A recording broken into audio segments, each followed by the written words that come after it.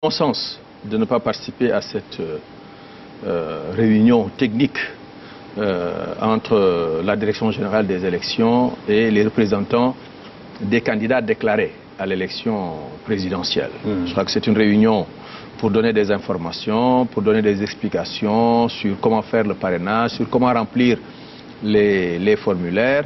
Et c'est une belle occasion, en tout cas, pour ceux qui veulent participer à l'élection présidentielle, de poser un certain nombre de questions. Maintenant, ceux qui décident de ne pas y aller, je me demande s'ils ont vraiment la volonté de prendre part à l'élection présidentielle qui profile à, à l'horizon. Et je suis sûr que tous les candidats déclarés ne suivront pas Oui. euh, certains euh, qui ont déjà annoncé le boycott de cette, euh, de cette réunion. Je crois que la politique de la chaise vide, elle n'a jamais été payante. Il faut être présent, euh, défendre ses points de vue, défendre ses convictions et poser euh, les, bonnes, euh, les bonnes questions. En parlant ici, vous voyez, les- les- comme certains, les prémices d'un boycott tout court de l'élection présidentielle. Ben, je crois quand on n'a pas de candidat ou alors quand euh, c'est pas certain d'en avoir, on peut toujours essayer d'entraîner dans sa chute euh, ou d'entraîner dans sa stratégie le plus grand nombre de candidats, le plus grand nombre de partis politiques. Ben, je suis sûr que les gens ne sont pas dupes Oui. et que personne, en tout cas, ne sera tenté par l'idée de boycotter l'élection présidentielle en, en vue. Ce serait risqué. Ah ben, ce serait, je crois que la démocratie euh, sénégalaise euh, est à un niveau tel euh, que les Sénégalais ne comprendraient, ne comprendraient pas du tout une telle, euh, une telle attitude. C'est ça. Alors, au moment de... c'est vrai, l'opposition quand même a combattu et s'est opposée euh, au parrainage, mais la loi est, passée de la façon la plus, la, plus, la plus démocratique. Au moment de lancer maintenant le processus, on voit qu'il y a certaines, certaines craintes qui sont émises du point de vue de la matérialisation même euh, de, de ces opérations en termes d'authentification, de vérification, etc. Oui, on peut toujours avoir des, des réserves sur euh, ces, ces questions-là, parce que c'est une première au, au Sénégal.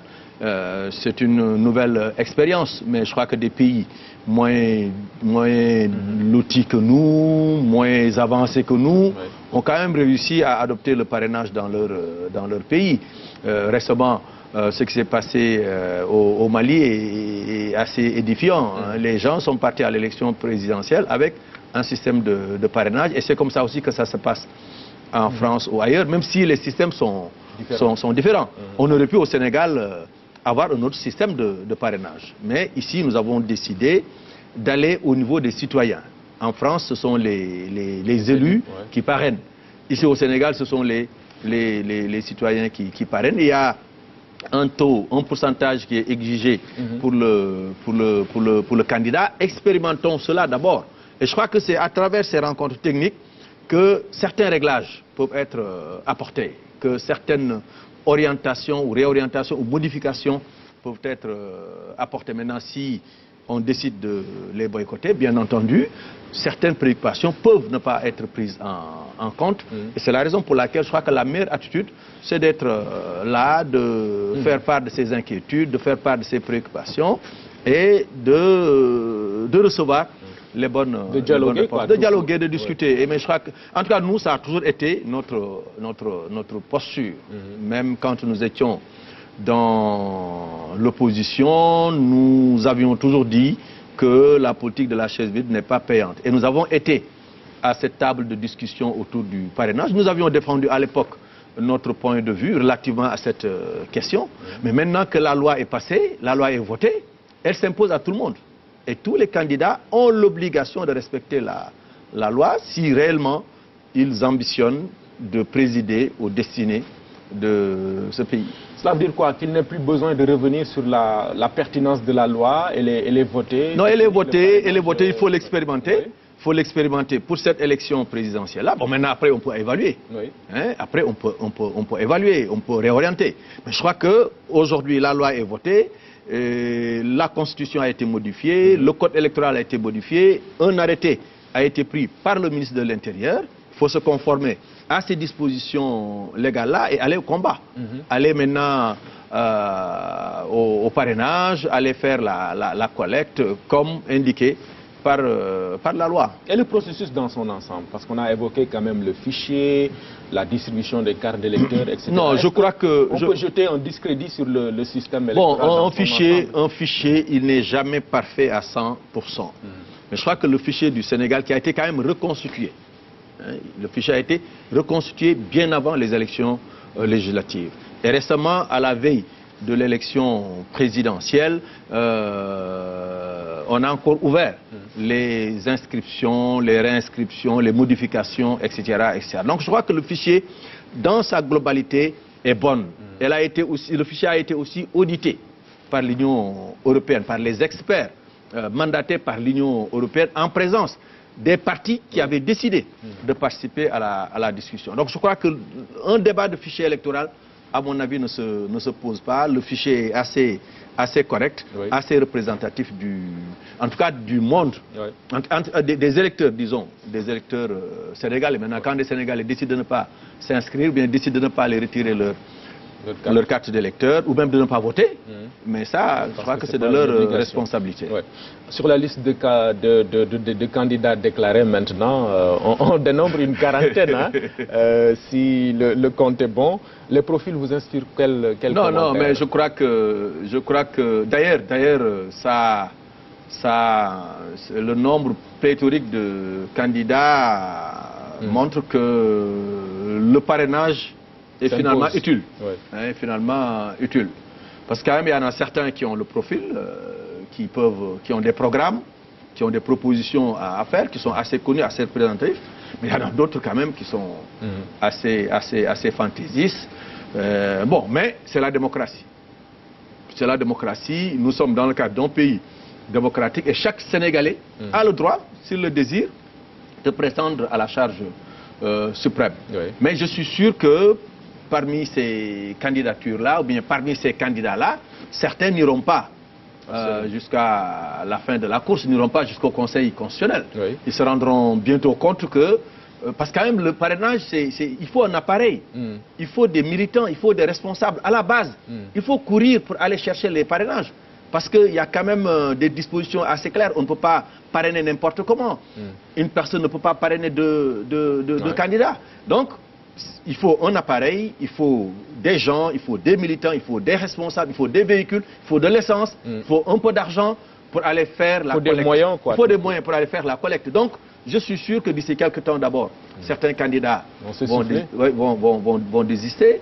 Ensuite, vers la fin, ben, certains diront que oui, nous, moi j'ai 10 000 signatures, l'autre a 5 000, l'autre a 4 000. Comment faire pour rassembler les 67 000 euh, euh, signatures euh, et certainement ça va les amener à se regrouper autour d'un candidat. D'autres maintenant vont peut-être euh, avec le nombre de signatures obtenues qui est quand même insuffisant voir un peu comment se rapprocher du candidat du candidat Macky Sall. C'est- Je crois que c'est un peu moins l'avant-premier tour. Ce- ce- ce- Ouais. Cette période-là est une période, c'est l'avant-premier tour de l'élection présidentielle. Et avant le premier tour, je crois qu'il y aura des regroupements, il y aura des rapprochements euh, pour que le nombre de candidats puisse être euh, à un niveau. Ah bon, vous, raisonnable. a- vous envoyez certains qui, qui viendront de la, du côté du président c'est clair, c'est la clair, c'est clair, c'est clair. Mais donc, je crois que bon, mais écoute, le- écoutez, aujourd'hui dans le contexte politique actuel, je crois que Macky Sall a le meilleur profil Ouais. pour être euh, pour être euh, réélu comme président de la République. Et je crois que le- le- la réflexion que nous avons faite à notre niveau va inspirer un certain nombre d'entre eux pour euh, aller dans la bonne euh, dans la bonne direction. Oui. Avec donc la coalition DISSO, vous avez décidé de soutenir cette candidature du président Macky Sall. Reparlez-nous du choix. Euh, Qu'est-ce qui le sous-tend? Alors, je serais peut-être plus à l'aise de parler de- des raisons euh, qui ont guidé mon parti, qui est membre de d'ISO, à choisir le candidat, le candidat Macky Sall. Euh, D'abord, il, nous a- il nous a lancé un appel, un appel public pour venir euh, à ses côtés, pour euh, l'aider à avoir un deuxième euh, mandat, pour continuer le bon travail qu'il a, commencé. Ensuite, il a suivi. Il a vraiment, il a vraiment suivi. il n'a cessé de nous appeler, il n'a cessé de, nous envoyer des délégations. Il n'a cessé vraiment de montrer un intérêt certain pour que LDRISL soit à ses, euh, à ses côtés. Et pendant trois mois, du mois de mars au mois de juillet, nous avons fait jouer la démocratie interne au sein de notre, euh, au sein de notre parti. Nous en avons d'abord discuté au niveau du comité directeur, nous en avons discuté au niveau de la commission d'orientation et de stratégie, nous en avons discuté au niveau des instances euh, de femmes, de jeunes, de cadres, d'étudiants, etc. Et ensuite, nous avons fait une circulaire euh, qui a circulé, excusez-moi l'expression, en tout cas qui a été euh, donnée à l'ensemble des fédérations de l'intérieur du, du pays et aux fédérations de la diaspora. Et dans la circulaire, nous disions il y avait trois options à faire soit présenter notre propre candidat, Oui. soit soutenir un candidat de l'opposition, soit soutenir le candidat du, du pouvoir. Mhm. Et lors du dernier bureau politique qui a pris la décision, majoritairement, mandat m'a été donné en tant que président du parti pour euh, euh, entamer des discussions Oui. avec les candidats d'obédience libérale. Mhm. Ce que nous avons fait. Nous avons discuté avec un certain nombre, parmi lesquels le président Macky Sall, que nous avons rencontré Oui. euh, officiellement. Nous avons échangé, nous avons discuté, Euh, nous avons évoqué le programme. Qu'est-ce qu'il compte faire pour le Sénégal entre 2019 et 2024 sur, un, sur le plan de l'agriculture, sur le plan de la santé, sur le plan de l'emploi des jeunes, sur le plan de l'éducation, etc., etc. Et nous avons abouti à de larges convergences de points de vue. Oui. Et pour nous, cela est extrêmement important. Donc, le premier élément qui a guidé notre choix, c'est cette convergence euh, programmatique. Oui. L'autre élément, c'est la cohérence idéologique. Mhm. Il est quand même libéral, nous sommes aussi des, des- des libéraux. Et enfin, c'est son bilan. Oui. C'est son bilan qui est, qui est, qui est élogieux, c'est son bilan qui est positif. Et voilà les, les- les éléments, en tout cas, qui ont guidé notre parti à choisir le candidat D'accord. Ok, on comprend bien le- les vues communes que vous avez sur, euh, sur le programme, sur l'idéologie, sur le bilan, mais vous êtes quand même deux forces politiques. Euh, et euh, cet accord, cette entente sanctionne des discussions, comme vous ça, dites. Euh, vous vous êtes entendu sur quoi? D'un point de vue politique, je veux dire. Non, d'un point de vue politique, Ouais. c'est pas le moment de le, de le dire. Ouais. Nous nous sommes entendus du point de vue programmatique et l'intérêt, l'intérêt, l'intérêt de cette euh, coalition, c'est que de cette alliance, Mhm. c'est que c'est assez inédit de voir à la veille d'une élection deux forces politiques, comme vous dites, discuter, rediscuter, s'envoyer des délégations, euh, des experts, échanger sur un ensemble Ah, je je pose la question parce que quand des partenaires politiques quand même discutent et s'entendent, euh, évidemment, en, en ligne de mire, on a, je veux dire, la gestion partagée des responsabilités. Vous avez évoqué Oui, cela? Oui, oui, mais nous avons évoqué, et bien entendu, nous avons évoqué, évoqué, évoqué cela. Mais ce qui est plus important pour nous, c'est qu'est-ce qu'il va faire de nos convergences de points de vue ça. après, après son, son- Sa réélection. sa- sa- sa réélection. C'est le bien-être des populations, c'est le bien-être des, des Sénégalais d'abord qui nous, qui nous préoccupe avant, avant autre chose. D'accord. Alors, euh, l'idée de la coalition euh, DISO, vous parlez tout à l'heure de votre parti, c'est vrai, mais la coalition DISO, euh, parlez-nous un peu de, de cela. Qu'est-ce que, cela représente euh, sur Ah non, c'est- l'échiquier, non, une, coalition composée aujourd'hui de, de 11 partis. Je rappelle qu'au départ, nous étions 5. Mhm. aujourd'hui, nous sommes 11, euh, 11 partis euh, qui avons rencontré ensemble le président Macky Sall, qui avons discuté et qui avons décidé Mhm. de, de le, de le soutenir. Et ça va être une coalition de plus. Parce que vous le savez, la coalition, la grande coalition Benno Bokoyakar Ouais. est constituée de sous-coalitions. C'est une coalition de coalitions. Ouais. Donc la coalition d'ISO vient s'ajouter à cet euh, ensemble-là. Vous êtes dans Benno Bokuyaka. Ben, nous allons être dans Benno Bokoyakar si telle est la volonté du président. Parce que nous, c'est lui que nous soutenons. S'il crée demain un autre pôle, une autre plateforme, pour porter sa candidature, nous serons membres de cette plateforme. S'il maintient Benno Bokoyakar comme étant la plateforme qui doit porter sa candidature aussi, nous serons dans Ok. dans Boko, Bokoyakar. Il n'y a pas de, il a pas de problème. Alors, ce sont donc des, des partis, des jeunes partis pour la plupart, mais composés d'éléments représentatifs, d'éléments euh, euh, expérimentés, des gens capables de mobiliser des électeurs, mais capables aussi de porter un débat, un débat politique. Et c'est clair que la coalition d'ISO va jouer sa, sa partition. Et dans les jours à venir d'ailleurs, nous avons décidé d'organiser un séminaire de mise à niveau, parce que la plupart d'entre nous, nous venons de l'opposition, donc nous ne suivions pas trop euh, ce qui se faisait au niveau du, du pouvoir. Ouais. Donc c'est important d'avoir un séminaire de mise à niveau pour euh, s'imprégner des réalisations Mhm. euh, de- du président Macky Sall, des réalisations du gouvernement de Macky Sall, pour mieux porter le, le bilan et pour mieux défendre le, le bilan. Oui. Justement, euh, il y a des clarifications ou éclairages à faire à ce niveau parce que euh, face à la presse, je vous ai entendu dire que ce bilan-là ne, ne vous concernait pas. C'est ce que Oui, vous semblez dire? Mais, mais non, mais c'est une... C'est une, c'est une- pas, je- pas un non. peu paradoxal Non, non, non, non, non, je dis que le- le bilan ne me concerne pas, ça veut dire que je ne suis pas comptable du bilan.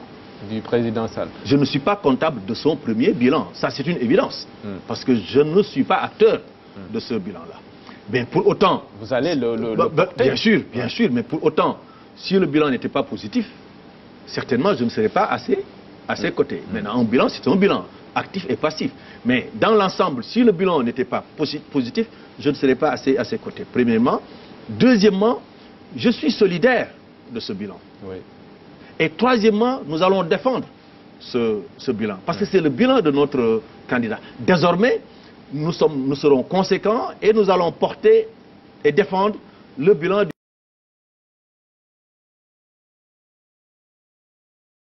premier mandat du président Macky Sall et nous travaillerons lors du deuxième mandat pour avoir un meilleur bilan euh, encore. Donc je crois que c'est assez C'est le clair. sens de cette. Ouais. C'est le sens de cette. Quand on dit, bon, quand on dit le bilan, euh, je voulais demander, je ne suis pas comptable du bilan parce que je ne suis pas Membre du euh, gouvernement. membre du gouvernement, je n'ai pas été acteur. Et être aussi objectif et honnête. Mm. Le bilan est positif et élogieux, mais c'est Macky Sall personnellement et son équipe. Oui. Donc euh, nous, nous, étions, nous faisions partie d'une autre équipe. Mhm. Lui, il a créé une nouvelle équipe et c'est cette équipe-là qui a permis au Sénégal d'avoir ce, ce ce bilan. bilan-là. Ok. Euh, autre précision sur le, parce que bon, euh, quand même vous avez vous avez parlé et vous disiez je ne transhume pas, je n'entre pas dans un gouvernement. Euh, pourquoi sentir un peu ce, ce besoin de, de- de- de précision, de clarification? Ah, mais non, parce que, que- peut-être vous êtes contre, non? Non, La non, c'est-à-dire, non, non, non, c'est-à-dire, nous sommes dans le landerneau politique, nous sommes dans le champ, dans le champ politique. Chacun a sa démarche. Mm. Moi, je respecte les démarches des uns et des autres, mais que chacun assume sa démarche. Oui. Moi, ma démarche n'a pas été une démarche de transhumant. Euh, en tout cas, telle que euh, cataloguée par la presse, disons, hein, qui considère les, les hommes politiques qui quittent euh, l'opposition pour aller au pouvoir comme étant euh, des bêtes qui Voilà. quittent la zone truc pour aller vers la zone euh, florissante, euh, etc. Non, je ne, je, je- je ne veux pas apparaître comme un tel homme politique. Ouais. Parce que si tel était le cas, j'allais répondre favorablement à l'invitation de Monsieur le Président de la République en 2014 pour intégrer son gouvernement. Je ne l'ai pas fait.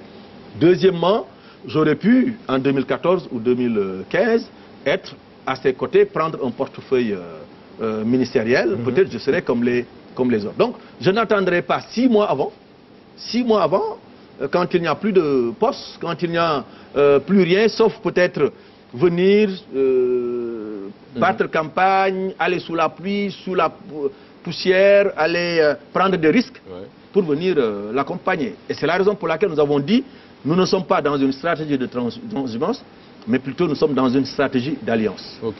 Et c'est comme ça que ça se fait dans tous les pays du, du monde. À la veille des élections, les gens qui peuvent être ensemble se mettent euh, ensemble, se battent ensemble. Et pour être, parce que quand même, quand on occupe des positions, il faut les occuper de façon légitime. Ouais. Quand on n'a pas investi quelque part, on ne doit pas récolter. Mhm. Mais en tout cas, moi, c'est un peu ça ma, ma philosophie. Bon, maintenant, ce qui va se passer dans les jours à venir, dans les mois à venir, dans les euh, semaines à venir, seul Dieu sait. Mais en tout cas, notre posture est une posture assez, assez claire. Nous voulons euh, accompagner le candidat Macky Sall, se battre avec lui pour lui permettre d'obtenir un deuxième mandat. Et après, on, verra.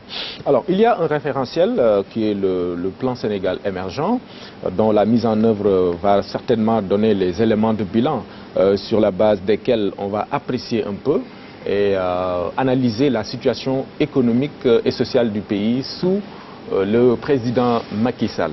Euh, si vous aviez à jeter un coup d'œil et apprécier ces projets et programmes, en attendant euh, bien sûr le, le séminaire dont vous parliez, vous Oui. personnellement. Bien sûr, bien sûr. Je crois qu'il faut. Nous attendrons le, le, le séminaire de mise à niveau pour mieux connaître euh, les réalisations, le bilan, comme nous l'avons dit tout à l'heure, du président Macky Sall, mais déjà de ce que nous savons de ce PSE-là, je crois que sa mise en œuvre est, est en train d'être faite dans de bonnes conditions.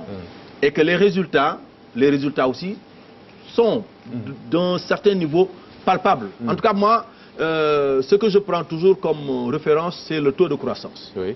qui est quand même à 7% aujourd'hui et qui depuis quelques années est maintenu à un bon rythme. Je crois que si l'économie n'était pas bien portée, euh, certainement on allait avoir des fluctuations. Mais tel ne semble pas être le cas. Donc, ne serait-ce que de ce point de vue-là, je considère que la mise en œuvre du plan Sénégal émergent est en train de porter ses, ses- ses fruits. Bon, maintenant, bien entendu, après 2019, il faut l'évaluer. Oui. Hein, il faut l'évaluer et éventuellement le réorienter vers euh, d'autres secteurs, vers les besoins de, de la population. Mais en ce qui me concerne, euh, la mise en œuvre est déjà, se passe déjà dans de, dans de bonnes conditions. D'accord.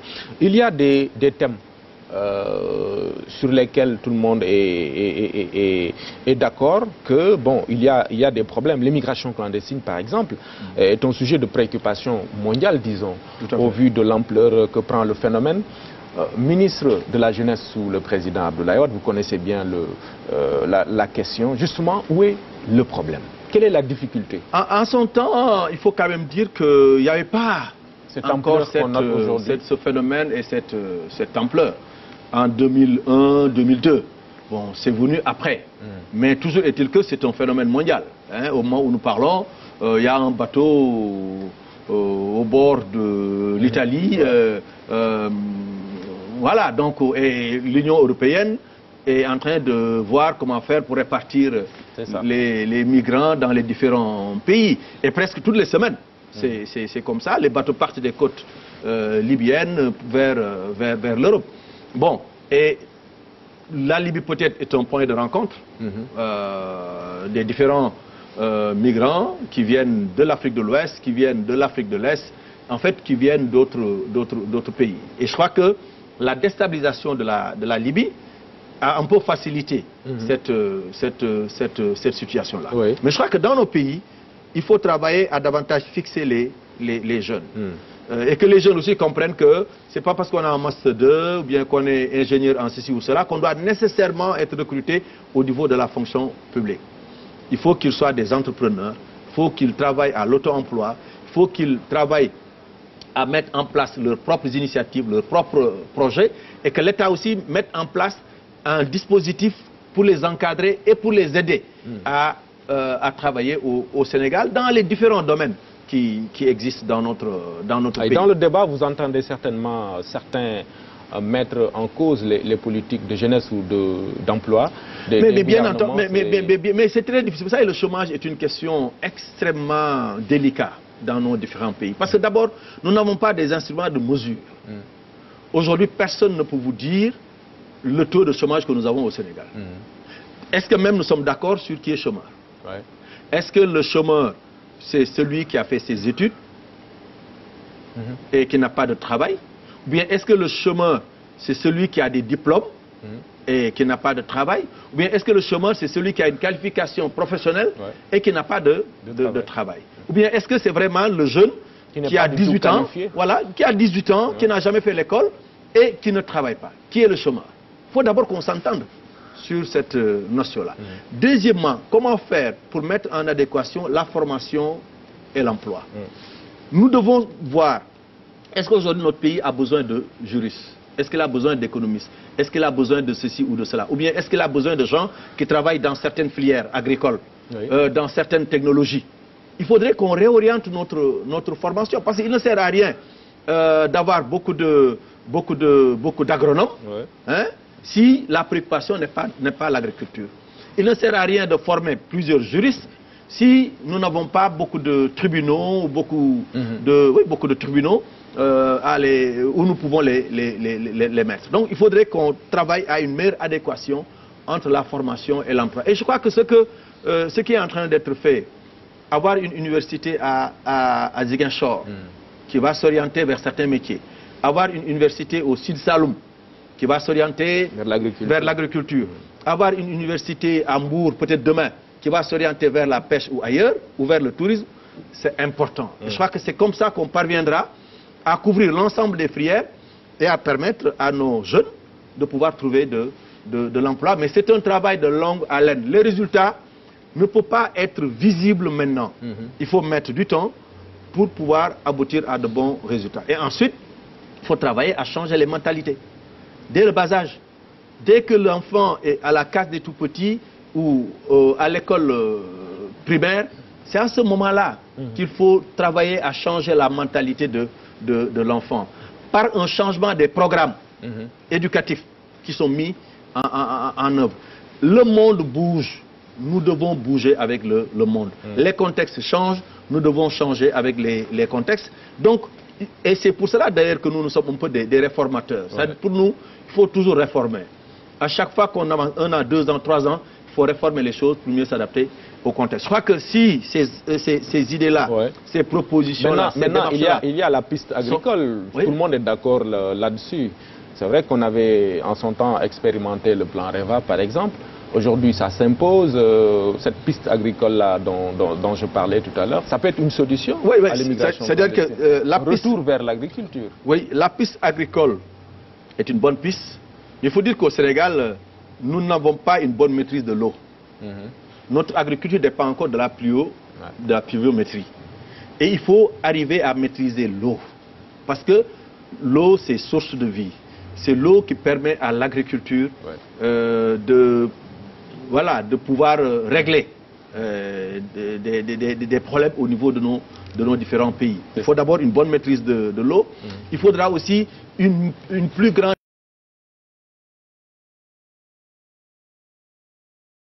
de mécanisation de, de l'agriculture. Beaucoup d'efforts sont, sont, sont faits avec les tracteurs qui sont envoyés par-ci au niveau de la vallée. Maintenant, quand vous partez là-bas, il y a des avancées significatives qui sont, qui, sont, qui sont notées. Mais si nous voulons que les jeunes qui sont maîtrisards, qui ont des masters, qui ont un certain niveau intellectuel, s'investissent dans l'agriculture, il faut davantage la, la moderniser. Mm. Il faut poursuivre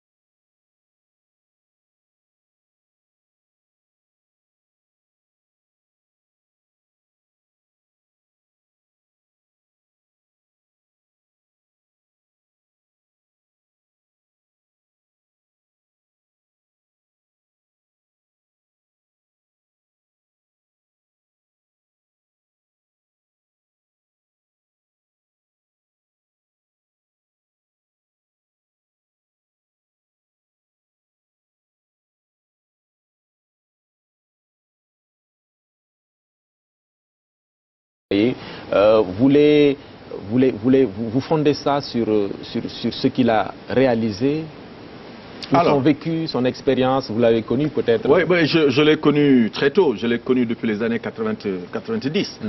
Euh, nous cheminons ensemble euh, d'une façon ou d'une ou d'une ou d'une autre. Donc nous nous connaissons assez, assez, assez bien.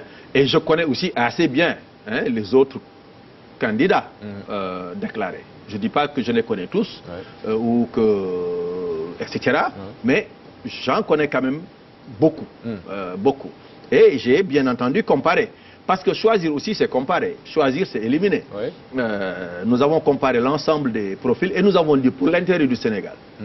pour la stabilité du Sénégal, euh, pour que le Sénégal continue son chemin de croissance, son chemin de développement, à l'heure actuelle, c'est le meilleur, c'est le meilleur choix. Ouais. En tout cas, c'est le meilleur profil. Et là, nous, nous, nous, nous l'assumons. Donc, nous le fondons d'abord, c'est vrai, sur son bilan, mais sur la personnalité même du président Macky Sall, qui, quoi qu'on puisse dire, est un homme très calme, un homme très serein.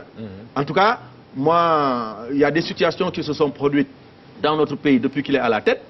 On l'a jamais entendu un peu sortir de, ses, de sa réserve, sortir de euh, tenir un discours violent, euh, attaquer frontalement euh, les gens ou bien faire des attaques euh, personnelles. Donc, il a toujours réuni à garder une certaine sérénité. Et nous sommes au Sénégal avec nos réalités. Oui. Il ne faudrait pas que ce pays-là tombe entre certaines mains. Mm. Parce que ce serait dommage pour d'abord tout le travail de construction démocratique euh, que nous avons démarré depuis Oui. très longtemps, mais ce serait aussi dommage pour l'économie de notre, de notre pays. On Maintenant, encore parle déjà des, des enjeux pétroliers et gaziers. Très bien, et bon... euh, Des non, enjeux de sécurité, par exemple. Tout à fait, tout à fait, tout à fait. Et puis, bon, moi je crois que euh, ces enjeux-là sont énormes, sont importants. C'est, il faut que les bases soient bien solides. Mhm. Il faudrait qu'on aille regarder ce qui se passe au Nigeria, Mhm. ce qui se passe euh, dans les autres pays pétroliers. Il faudrait qu'on s'inspire de leur expérience pour éviter les contre-coups. Oui. Hein, parce que c'est extrêmement important. Dès qu'un pays est devenu Mhm. à du pétrole, bon, écoute, les multinationales, Ouais. les lobbies, les trucs se Voilà. mettent à, à l'œuvre et tentent de déstabiliser ce pays-là. Et nous devons tous refuser, en tout cas tous les hommes politiques, euh, toute la classe politique, toute tendance confondue, doit refuser de se prêter à ce, à ce À ce jeu. jeu-là. Parce que ce serait euh, dommage pour les futures générations. Ok. En parlant du président Macky Sall et de, son, de sa posture, on rapporte ses propos, ne jamais, par exemple, euh, dire du mal de- du président Abdoulaye Wade. Vous l'a- vous l'appréciez Ça l'honore. Ouais. Ça l'honore. Ça, ça honore le président Macky Sall. En tout cas, moi, c'est cette posture-là que j'ai. Ouais. Le président Abdoulaye Wade est notre père spirituel. C'est quand même lui qui a créé un parti, qui a été le premier euh, presque parti d'opposition légale en, en Afrique. C'est lui qui s'est battu pour le multipartisme au Sénégal. C'est lui qui s'est battu pour euh, une presse euh, libre au Sénégal, etc. etc. Donc, c'est lui aussi qui, en Afrique, a été pionnier. Donc, maintenant, il a fait des erreurs, comme tout, tout, tout humain. Mais, pour autant, il reste une référence, il reste en tout cas un homme politique qui mérite euh, respect et considération. Et je J'allais vous que demander ce qui restait de vos relations, vous, personnellement. Le président Ouad, il reste mon père. Euh, il reste mon père dans le sens de cette tradition africaine. Il a l'âge de mon père, il a beaucoup fait pour, euh, pour moi. Quand j'étais plus, plus jeune, il m'a encadré, il m'a responsabilisé et voilà, il m'a appris à faire de la, de, la, de la politique. Il reste une source d'inspiration politique euh, pour, euh, pour, pour moi. Mais pour autant, aujourd'hui, je réponds de moi-même. Ouais. Je réponds des instances de mon, de mon, de mon parti. Et je crois qu'il euh, qu'il l'accepte l'accepte Comme tout cela. à fait. Et bien entendu, s'il a été amené à me responsabiliser, à me euh, mettre à ses côtés, c'est parce que aussi très jeune, j'ai accepté de m'engager à ses côtés, de me sacrifier, de me battre à ses côtés, de faire la prison à ses côtés, de battre le macadam à ses côtés pour qu'il accède aussi au, au pouvoir. Et bien entendu, après avoir pris le pouvoir, il m'a euh, responsabilisé. D'accord. Maintenant, ce qu'on voit, c'est que bon, ça va dans tous les sens, hein, au niveau de, des responsables ou anciens responsables libéraux, euh, des, des sorties qui ressemblent un peu à des déballages, euh, Ouad, Karim, Maki, etc. Bon, Oui, oui, je, je- je- je Tout crois que je, crois que c'est bon. Certains n'ont pas été compris. Oui. Je suis sûr que certains parmi ces gens-là n'ont pas été du tout compris. pensez à qui par Non, c'est pas la peine de citer des, des, des noms, mais certains n'ont pas été compris. Mais je crois que ce qui est plus sûr, quand vous êtes devant la presse, c'est de ne pas parler de Karim ou de ne pas parler de Watt. Je crois que c'est- l'attitude la plus sûre qu'il faut, qu'il faut avoir pour éviter ce qui s'est passé euh, récemment. Quand on ne peut pas dire du bien de Wad, on se tait le, le concernant. Je crois que c'est plus prudent. Et moi, c'est le conseil que je donnerai à, à tout le monde parce que quand même, Wad euh, reste euh, une personnalité forte de ce pays, une personnalité forte de ce, de ce continent. Et nous, surtout nous, euh, qui avons travaillé avec lui, nous ne servons même pas très bien la cause que nous défendons aujourd'hui, c'est la réélection de Macky Sall, en parlant du président. Abdoulaye Wade. Et je crois qu'il faudrait que tout le monde le, le comprenne. Parlons de notre candidat, parlons de son programme, De son programme, parlons de- son ses bilan, réalisations. parlons de ses Ouais, réalisations et laissons de côté le président Abdoulaye Wade et peut-être euh, son, son fils. Bon, maintenant, son fils, c'est son fils. Euh, il faut le laisser de, de côté. Maintenant, l'homme politique, c'est autre chose. Si demain, un responsable du PDS fait des déclarations ou prend des positions qui, ne sont pas justes, selon nous, bien entendu, il faut, il faut répondre. Absolument. Mais rester dans le cadre politique et ne pas aller dans... Justement, dans le cadre politique et du débat qui, qui l'entoure, il y a, on parlait tout à l'heure de ces candidatures déclarées, mais on voit quand même qu'il euh, y a deux cas, euh, Karim Ouad justement et Khalifa Sall, euh, dont les partisans s'entêtent aujourd'hui à, à, à, les présenter comme, euh, comme candidats à l'élection présidentielle de 2009, alors qu'on sait tous qu'il y a des, des, problèmes judiciaires. Oui, mais pour le cas de, pour le cas de Khalifa Sall, s'il faut rester sur les principes, euh, il, est, il, est encore, il peut être encore en course tant que Parce le verdict n'est pas, pas, terminé. N'est pas terminé. Alors, maintenant, pour l'autre cas, je ne suis pas conseil constitutionnel. Mmh. Hein, moi, je ne suis pas conseil constitutionnel. Et je ne vais pas m'aventurer à dire si sa candidature sera recevable ou, ou pas. Mmh. Mais j'attends sagement euh, d'abord qu'il dépose sa candidature. Ensuite, j'attendrai l'avis du Conseil constitutionnel et je respecterai à la lettre l'avis du Conseil constitutionnel et je défendrai aussi l'avis du Conseil euh, constitutionnel. Mmh. D'accord, ça c'est votre position. Ça c'est ma position pour le, pour le moment. Il faut, il faut rester sur les principes. Ils ont leurs arguments, les autres ont mmh. leurs arguments. C'est le Conseil constitutionnel, le moment venu, in fine, qui va trancher. Quand il aura fini de trancher, tout le monde devra se plier à la décision du Conseil constitutionnel. D'accord. Alors, euh, Elder Yassal Disso, on parlait tout à l'heure de la, de la, du parrainage, de la campagne. Vous allez vous déployer comment? Ah non, nous allons nous déployer d'abord euh, euh, à travers le pays. Hein. Je, je, prépare une tournée, en tout cas personnellement, qui va me mener en, en Italie, mm -hmm. où nous allons certainement beaucoup parler de, de, de, de parrainage, et en France aussi, mm -hmm. où nous allons euh, certainement beaucoup parler de, parrainage. Ensuite, nous sommes en train de préparer nos équipes oui. sur le plan national. Quand le mot d'ordre sera donné à partir de jeudi prochain, lors de notre prochain comité directeur,